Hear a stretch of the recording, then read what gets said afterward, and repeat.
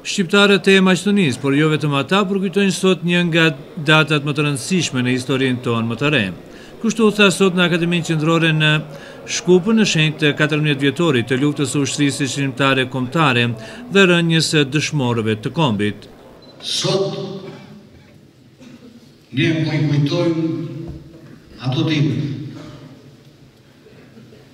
Çdo shqiptar ishte në ushtrinë çlirimtare kombëtare. Pavarësisht a ishte në pozicion, lëkura, lëkura në shtat I dridheshte çdokujt kur shihte nëpër mediume, gazeta të shkruara e elektronike se asnjë shqiptar nuk distancoheshte dhe nuk dënonte ushtrinë çlirimtare kombëtare. Në këtë Akademi përkujtimore kushtuar katërmbëdhjetë vjetorit të luftës së Ushtrisë Çlirimtare Kombëtare ishin të pranishëm mysafirë të shumtë nga vendi dhe jashtë saj, ish-ushtarë të UÇK-së dhe mysafirë të tjerë.